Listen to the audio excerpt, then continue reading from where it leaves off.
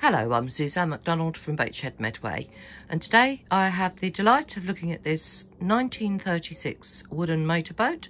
She was built by McGruer & Co, a very renowned boat builder and the current owner has owned her since 2001 um, and he's had extensive work carried out on her that you'll be able to see on the written details via www.boatshedmedway.com um, and he's also had a new Vetus 25 horsepower engine put in her um, back in around about 2002 so let's have a look around.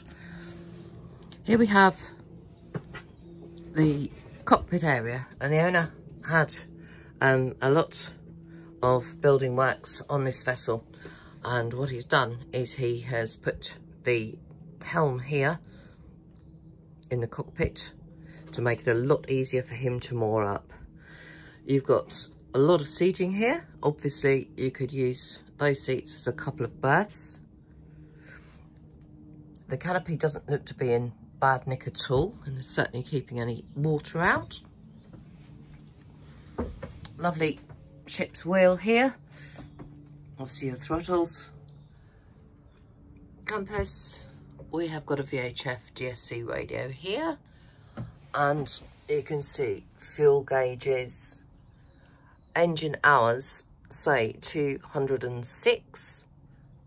And you've got your voltmeter, bilge pump, and other controls. So, beautiful attention to detail in here. Now, we're in the main saloon area and you can see a decent sized seat there, which also can be utilised as a third berth.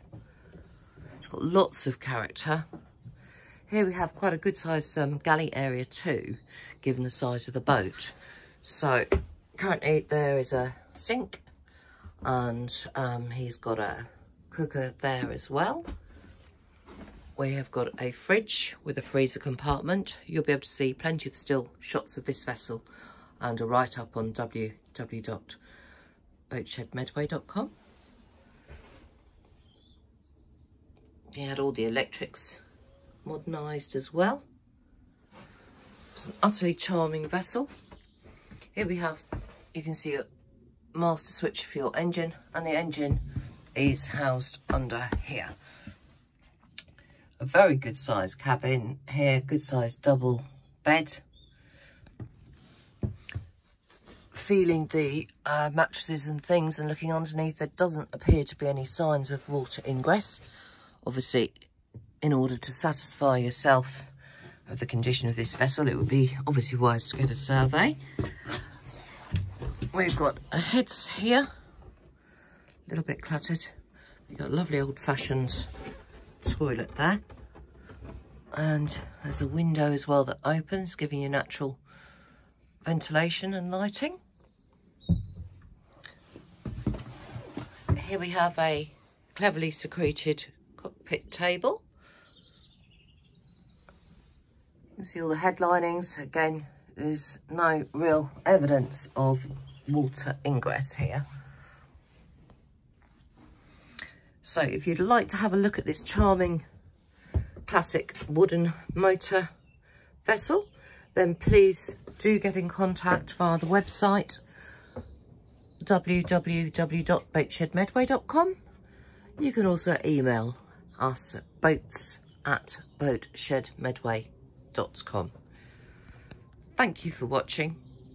If you do have a boat to sell yourself, whether it's a beautiful classic like this or a modern GRP vessel, fishing boat, motorboat, leisure cruiser, etc., or houseboat and barge, then uh, we really are short of stock at the moment and we'll be delighted to hear from you. Thank you.